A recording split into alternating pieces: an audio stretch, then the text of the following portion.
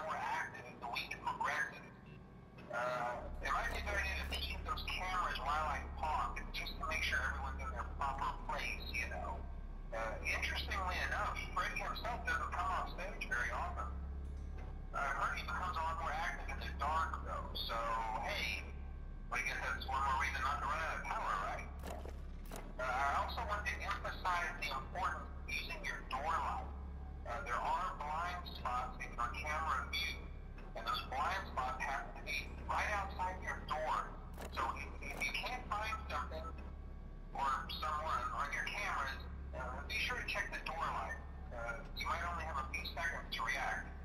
Uh, not that you would be in any danger, of course. Uh, I'm not implying that. also, check on the current